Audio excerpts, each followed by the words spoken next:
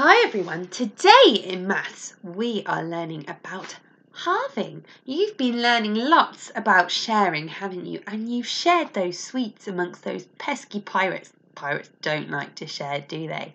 But when we talk about halving, we only split them into two.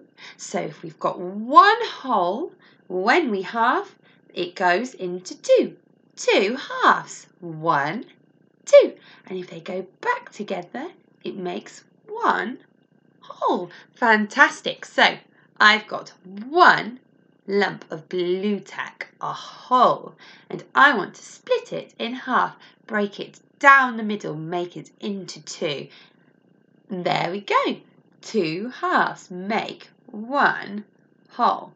Only have two halves in a whole. You don't get any more.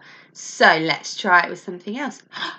An orange. This is a whole orange, one whole. If I break it down the middle and I split it into two, two halves make a whole. So that's one half of an orange. And another half of the orange, you might eat this in the morning and eat this in the afternoon. You've made it into two halves and it makes one whole. One last thing to look at.